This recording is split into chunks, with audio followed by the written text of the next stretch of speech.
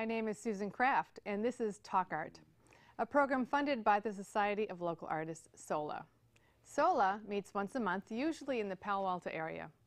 You can find out how to join SOLA by going to our website, svlocalartists.org. Today, we're going to talk to two talented and lovely artists, both are good friends of mine, whom I met while they showed their incredible art at the former Art 21 Gallery.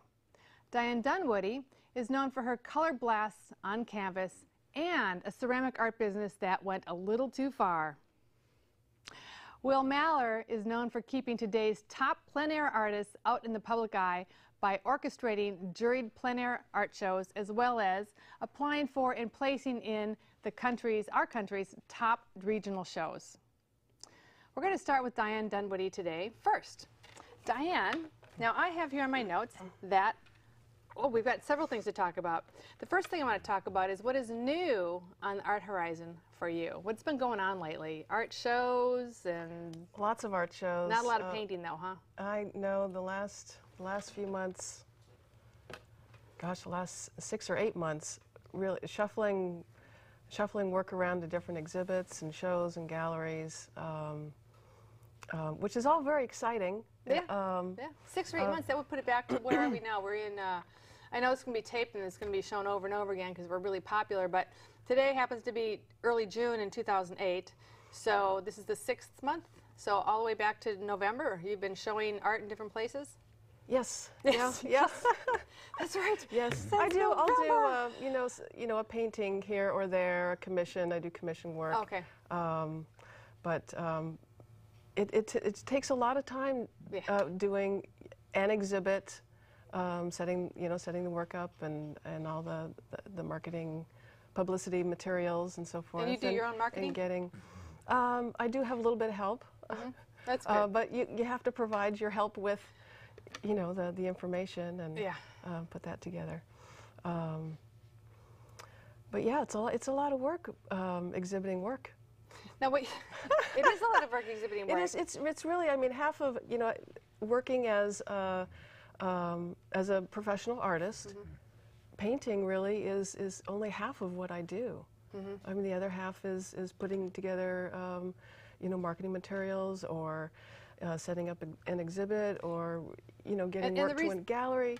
Excuse me, but I, I, I want to just want to clarify because a lot of people may not know this, but what when you say marketing, it's not just marketing like you're marketing for a, a shoe store or, or, or, or, a restaurant. It's you're really reaching out to the people that have already purchased from you or have come before and want to see your work again, whether they buy or not. They just want to see your art. And they want to be where the other people are that they maybe have met during these shows or talk to other people that are, that are interested. So they need to know what you're doing. And they've got busy schedules.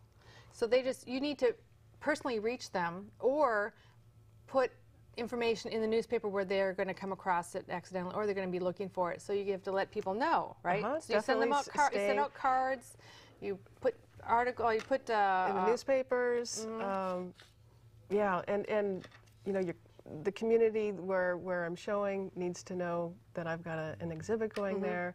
Um, yeah, and staying in touch with with customers, potential customers, mm -hmm. people who have seen my work um, that weren't ready to buy yet, yeah. really loved my work, and which you, happens and, often. And then you have to take art down and you have to pack it up and make sure that it's not going to be ruined. And so that's a lot of work. What we're going to do though is we're going to look at the work that you've been showing over these last eight months since November, and it's going to be um, your uh, the first group of art. Could we um, could we have the art up on the screen, please? There we go. This, okay, this, so this first one we have here is we've got combinations.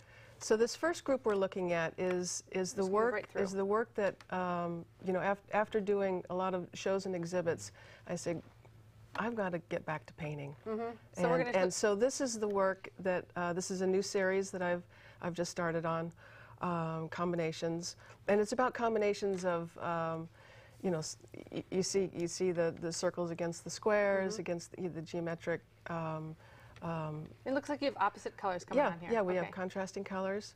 Um, and, uh, and then the color combinations. I mm-hmm. love mm color, and I love playing with color, color combinations.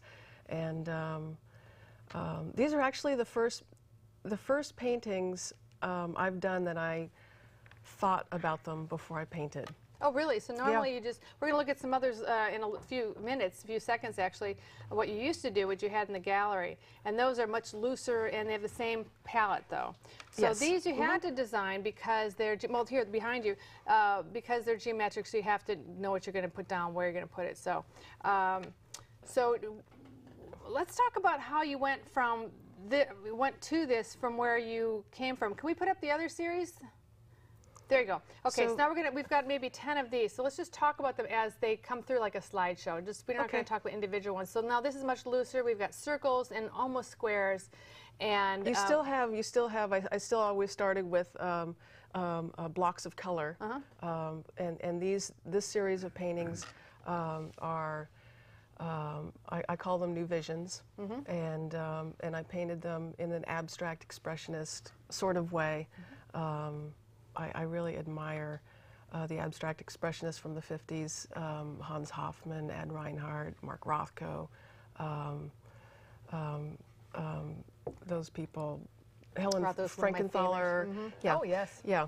Um, and they painted, you know, you know, and I painted these just, I'd, I'd uh, go into the studio, prepare, get my, what colors am I going to work with today, pull out those colors, and I just start applying color on canvas. Mm-hmm. Um, and these, these were done, you know, I'd, I'd put blocks of color down, put, and, and I work in uh, acrylic, so Mm-hmm. uh, it dries quickly. Sometimes I'll use a, a hair dryer, dry a layer, put on some more It's a color. good trick. I did the same thing. yeah, it, it, it's, I, I love acrylic. I love working with acrylic. And I can also apply um, uh, paint on in thick. And I. Yeah, like that. really I like that. Yeah, it's um, great. that I love texture. that three dimensionality that you put in there. So these are just expressive. Just, they're colorful, they move. Um, and um, Well, I lived with your art for um, about a year or two, and I loved your art. And uh, we had a you're welcome, and we had uh, many people that came in just to see your your stuff. I did well at your gallery. You did. You I did, did. very well. Yeah, I know. You were you're one of the uh, many artists that was uh, not too happy when I closed, and you know, but life goes on, and nothing is Yes, forever. So, yes. um, which speaking of nothing is forever, you had a previous inca- incarnation in. I think we're going to bring some up here. I'm going to show you here. Incarnation of art before these beautiful pieces that we had up here, and uh, and those that was pottery. Yes. And when you Yeah. when I look at your pottery and I look at your art that you brought into the gallery, the ones we just saw that Uh-huh. really loose, and the circles, the, the circles you would go round and round with the brush, you could just see it, right? And then when you showed me your pottery, which is very I don't want to say common, but you see this kind of pottery all over that kind of style of, of glazing in many different pieces out there in the market because your your your style was copied. But you Well, were the one was- yeah. that started this style. I and you'll see it at Macy's, you'll see it at Crate and Barrel, you see it at you'll see it at Walmart, you'll see it at, at World Market. In fact, there's a World Market cup in our kitchen here at the studio that has your signature style of painting on it. It just is because flattery is what the imitation is the, is the yes. most sincerest yeah. form well, of I flattery. had to take it as a, as a compliment. Yeah. Yeah, yeah. but you did everything with, uh, in a small. You had a small. Uh, I started company? out. Yeah, I started out working um, as an as an artist In and street fairs? Designing. Yeah, doing street fairs and, and designing my uh, my own wares, and uh, got picked up by a sales rep, which took um, uh, the dinnerware. Well, actually, a, a lot of things wholesale, and um, couldn't produce the um, everything myself, so I had to hire help. More Mm-hmm. kilns, more help, more kilns, more space. Another thousand square feet of space. Um, pretty soon, I had. Um, a lot of kilns and a lot of uh, uh, you know sales reps all over the country, and we were shipping out pallets of uh, dinnerware, and um, it, it was a unique it was a unique glaze application and uh, colorful. People liked it, um, but unfortunately we got knocked off, and, and it happens. And like you said, it's it, you have to take it as a compliment. well, let's bring up a couple of Um, these. Uh, we've got a couple of these. Uh, can we have them up on this on the uh, screen? This is a short slideshow because we only have two pieces. Yeah, so- this was before digital, so we don't. You yeah, don't have yeah. a lot. These were in the early '90s. Well, uh, the teapots. the limited edition teapots, I, I made um, myself um, um, by hand from slab. Anyway, I, Okay. I, I love them. Okay. And, the then- next ones we're going to look at here, the plates. Can you bring the So plates up, please? So the plates, the plates that you see there are um, the first, the, the beginning of the Sonoma dinnerware. Those were the first um, um, the first colors that came out. We added pieces. You know, customers would call and say, "I need a butter dish. I need a pitcher." The sales reps would call and say, Do you "Oh, make 'em? Well, now, yeah, and we would make them. And um, So you, what you told me earlier was that you would hand make them, and then that's you would make them, and then you would make a mold, and then we could then reproduce the mold, and re- reduce yeah, pieces, the, the reproduce uh, pieces all your the, mold. All the original pieces were handmade, and then molds were made of, of those. This is the only way t- to make that many pieces. Yeah, of Um, course, of course, and to have that handmade look, and, and also this this so the glazing. The glaze- glazing is by individual. The glazes were all done by hand. Mm-hmm. Um, the, the color was applied first, and then the, gl- uh, the, the clear gloss. Mm-hmm. That, that was our secret. The clear gloss. It's not a secret anymore. Yeah. Clear gloss was uh, applied uh, over that, and that gives it that depth. Yeah. And um, and then as time went on, we, we added more colors. That's what you know the public wanted. Okay, Yeah. the colors that are in this year are teal and whatever, and um, um, and and the um, you know they, they went from pastel colors to, to bolder colors. Well, and, and I and I see when I when I saw your pottery. Now the one that we just showed you, like I said, I only had you only gave me two images to put up on the screen because of times have changed and this isn't something that you have available. For, Right. You know, on- Yeah, yeah, but anyway, I, I've seen your work and I've noticed it in.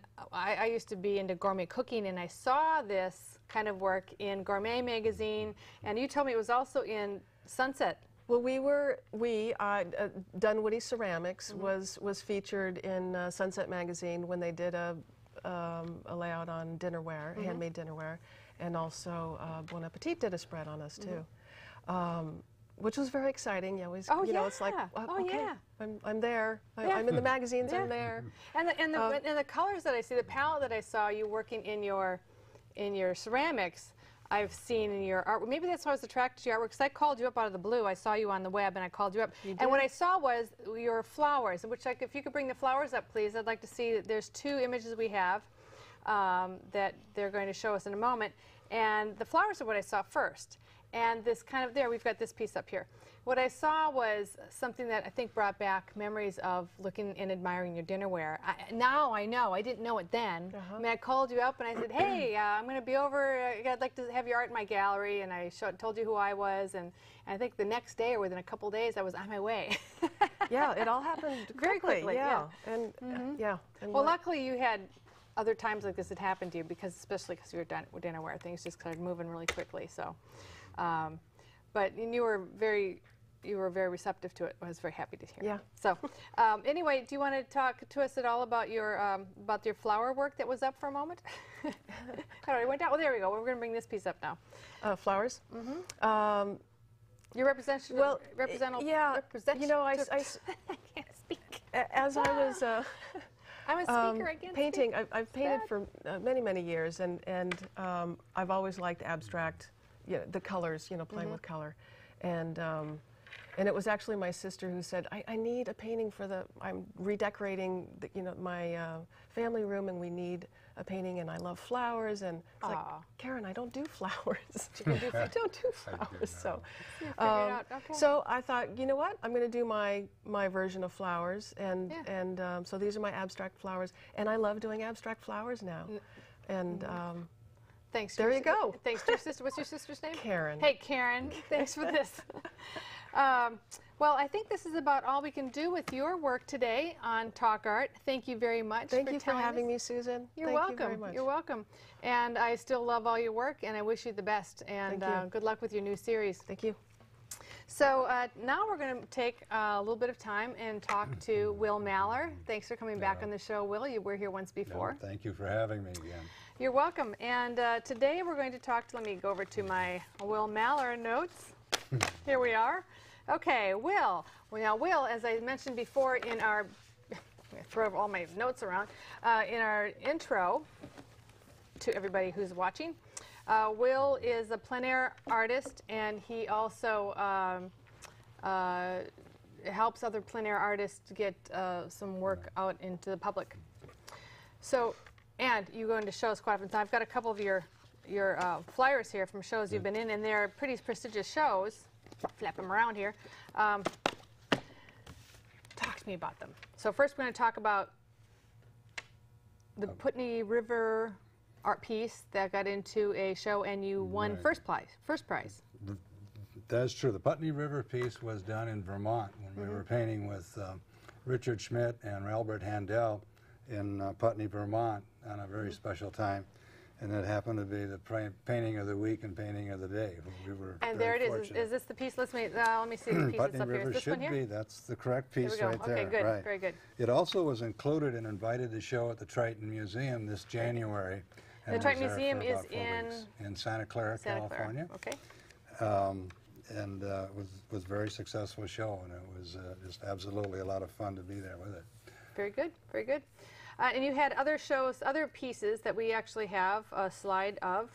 And um, we have something something called Morning Shadow and uh, Altima Creek. Altima. Alameda's Creek, right? So let's do Morning Shadows okay, first. the Here it comes. Morning Shadows is up. Exactly. The Morning Shadows piece was done on location. It's a it's an 11 by 14 plein air piece done at Villa Montalvo. Very good. It was juried in along with Coyote Creek and Alameda's Creek as part of a three-part piece that was juried into the History Museum's plein air show, Breath of Plein Air, which will run, actually it's going on now and will run, I believe, through uh, the end of Sep- or mid-September. This is 2008. Um, and so uh, and now let's go back to the. Morning Shadows piece that's still up on the screen here. Is it yes, on the screen still. So this, you told me earlier that this is the style of work where you're moving into. So I want to get over to that later. It's going to come up on this, uh, we're going to talk about this a bit later, but I just want to point out now that this is a stunning piece. The, the color and the shape and the value um, that you use to to create this piece of art is um, is spot on, on. and Thank you. people have recognized it, and you've gotten awards, and you've been invited. So Exactly. I've been very fortunate that I've uh, gotten some awards with this piece. A 1st Mm-hmm. there, and it's going on to a national show uh, later this fall that it was juried into. Now we got so I'm going to uh, I would like to bring up some other pieces Mm-hmm. uh, that. Um, congratulations on, on the Thank you. Morning Shadows, and I'm very happy to see this working for you. Uh, you've been working so hard at, at moving out into the into the world with your wonderful art. Um, and I might add, Will's been painting since he was a little kid. So um, I'd like to look at if you can bring up some other slides of Coyote Creek and uh, what else do we have here? Um, should be Alameda's Creek. Alameda's Creek. We've got two more uh, plein air paintings to bring up on the screen. There we go. So this is Coyote Creek is up on the screen right now, and um, and this one is plein air yes, art. Okay. that is And then- also plein air. And then the other one I want to talk about or I want to show actually is uh, Alameda's Creek. Creek. Did we bring that up yet? No, that one's Gold Country, uh, Sundown, which is beautiful also. Um, but let's just move on. I think what I want to do, uh, we've got uh, we've got such a limited time. There's so much work to look at of yours, uh, Will. Um, I'd like to talk to you about your nudes. You're also an excellent figure painter. Yes, and drawing, that's- uh, um, Thank you. drawing artist. Consensus. Appreciate that. And we have a couple of your pieces on set with us, and we've got one that we can show on the um, on as a slide also. So the one behind me, I don't know if we can get this or not. Um, if it's going to get over here, Whoop, there we go.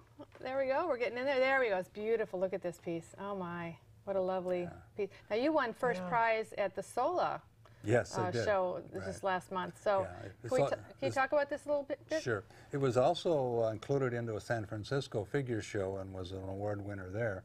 This was done in one of the uh, Palo Alto Art Center's open studios where you can come in and uh, contribute to the uh, model fee for the evening or the afternoon, and um, which is what I routinely do.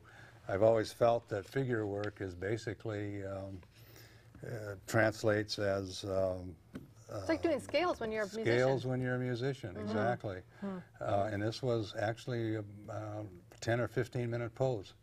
Um, and I got caught. I got caught tangled up in the hair and spent a lot of time doing the hair and then realized I had very little time to the end of the pose and massed a, massed a pile of the charcoal and then dragged it down the right side. I love it. With your hand. and, and Ah, the hand, and it, beautiful. it, it Yeah, hit it just yeah. right. And It's I perfect, thought, fine, yeah. I'll live with this. You know, and, so. and we do, just like uh, musicians doing scales or just tinkling Yeah. around, one out of a hundred is a masterpiece, Right, right? exactly. And you might have get- 20 that are, are good enough to sell, and the rest of them you just think, well, let me redo it or toss it, especially this kind of work. Yeah, I'm very Um, happy with that. And Uh, I- me too, and me too. And now there's another piece behind other you. piece, right. If we have this guy over here, take a look at it. Um, so I don't think we have a slide of it. Well, this is a male nude that was done Mm-hmm. again, I believe, at Palo Alto, and was also um, one of the featured pieces in San Francisco Gallery for a while. Um, and that was literally, like, uh, I believe, a one-minute sketch and on, from a model that was in motion. Oh, okay. yeah, he looks like he's in motion. and, I don't know if uh, you can get this at all. If anybody of our, any of our cameras can get So this. during that but- period of time, that model was was in motion. Oh, that's why you've got the arms. You can see the And- arms are going right, around. Yeah. so you've, uh-huh. you've got very little time to, to capture something, and I, uh, uh, we started at the top again and.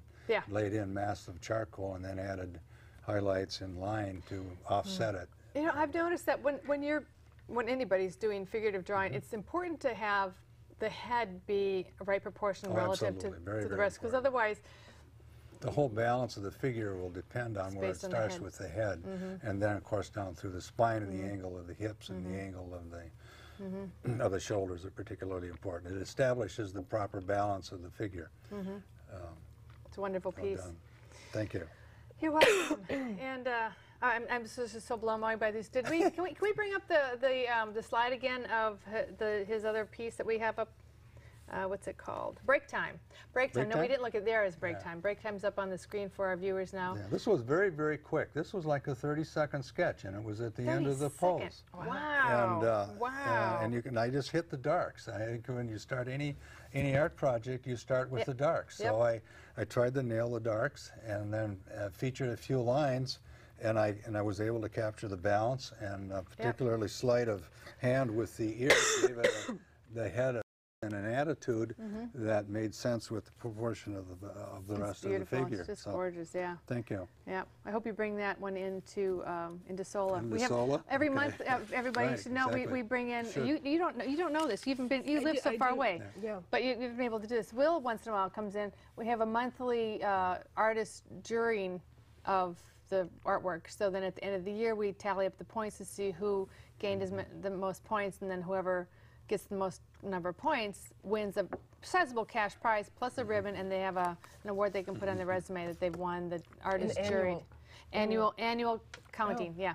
And we start counting in January, from January to January. So, um, let's see what else did I want to talk about with you. Oh, yes, I wanted to talk to you about the future look of your artwork. Now, we already talked about that you were going to, um you plan on using the Villa Montalvo Gold Country Sundown that we first saw. That's the right s- title, isn't it? Well, the Gold Country Sundown is a piece that was the free, uh, People's Choice First Place Award winner, Napa Plein Air, juried Plein Air show um, last year, a year before. Um, and that's the one that got some national notoriety. Um, I was very fortunate to So it's be able to here? receive that one, Yeah. receive that Great, award. Uh, great. Y- Your waterfall pieces are just stunning. In fact, the last time you were here, you had one on and you added a little more. We did, right. it, yeah. We've since finished that piece. Mm-hmm. I should bring that in. But So what? Uh, so your future art plans and your show entry plans. What are you? What are your plans? What, tell Well, me what they are. we're- We want, I want to take notes because I want to follow your footsteps. okay, Thank you, I appreciate it. Okay, here we go. We went through a number of years, um, 15 to 20 years, where I was away from oil painting for a while because of uh, commercial interests and Mm, a commercial mm-hmm. interest in doing uh, trade shows and, and conducting a design studio and a design business in the valley. Um, and coming back to oil, um, I struggled with it and, Mm-hmm. and, and struggled to the point where you're almost blocked. And I think one of the ways to get through the block, um, if you keep working smaller and you keep working more consistently with more images rather than struggle with one image, One giant image. Right, brought me to plein air. Works a little bit smaller. You can paint on location. You can paint a number of pieces in a shorter period of time, But and slowly thinner, start aren't working they? through this. They're usually thin. They're not really thick. People like to have it thick. Um, the th- plein air pieces that I do end up fairly thick, Mm. actually. The, the, the, the darks are always, in traditional oil painting, the darks are painted thinly, and then the lights and the, uh, Right, the thick water, the colored are oiling water gets put on Generally mhm. painted, yeah. Now, Morning Shadows is purely uh, painted on site in total in about an hour and a half. Gold Country Sundown, on the other hand, was mostly painted on location, and then it was it was glazed and finished in the studio. I looked Yeah. at it for a while and then picked parts of the picture and glazed it dark to push it in the background, and uh, that seemed to help that piece out quite a bit. Well, it's pretty clear these two are uh, the the morning shadows, and I keep we're Yeah. pointing the things on the. You guys can't see the things we, we're pointing on the table here, and you can't even if I hold it up, you can't see it either. So I'm sorry. Uh, we should probably stop doing this because like Go now back what you forth, said yeah. right here and what you said right here, we're not going to tell you. We're just keep it a secret. that's- So um, the Gold Country Sundown, the one that he's going to go forward with. As a plan for the future, Right. because he's getting lots of awards and his Yeah. name is getting out there. And this is what you have to do if you want to be known in the art world. You need to uh, to be recognized in in regional and uh, and countrywide um, shows that have some notes. So this is like Exactly. the 23rd show in New York, or the you know the 15th show in Texas, or something like this. Just have something that it has some legs and it has then people pay attention to, and the jurors are well known, and the other artists that are in the show are are well well known. Known. So The, this is uh, what you- this is what art's been art. This is what Will's been doing with his art. The sister piece to the Gold Country Sundown was accepted into the Oil Painters Association show in Santa Barbara last fall. Very good. Um, Very good. So it gives it even more legs. when- Right. So, so this this is basically if I if I could take what you're doing and what you're doing also is to take a um, um a page out of your workbook Mm-hmm. to get yourself out there and people get to know who you are, and that is to um, just constantly go out there. So when you were doing your shows for your ceramics, you were in these shows and you would take on commissions. And when you were doing, and you brought on people to help you grow. And what you're doing now is you're going to uh, to well-known series of um, of shows and putting your best pieces, not gigantic pieces, really well constructed, small ones. You have to be able to recognize your own work. So getting people to look at it with you sometimes and doing smaller, smaller quick shows that are weekly or monthly in your local community will help you understand what you're doing right and wrong and getting some good instructors. So, so that's really important for the people. You know, if we've got other artists watching, Mm-hmm. this is what you do to help get yourself situated and known in the art world. And then once you're known in the art world, then other people start to pay more attention because people who are collecting, they want to know if they're on the right track or not. You think we have a hard time figuring out for, which Mm-hmm. piece is better or not. Art collectors also have that problem and even Exactly. worse. So they need to have other things tell them like the number of awards you're getting. And we're done. Okay, folks. Thank you for coming thanks. in. Thank Thanks, you for Susan. Susan. You're I was welcome. going to say Thank you. thank you All very much for You're having You're welcome. us. Hope you all got something out of this that I certainly did.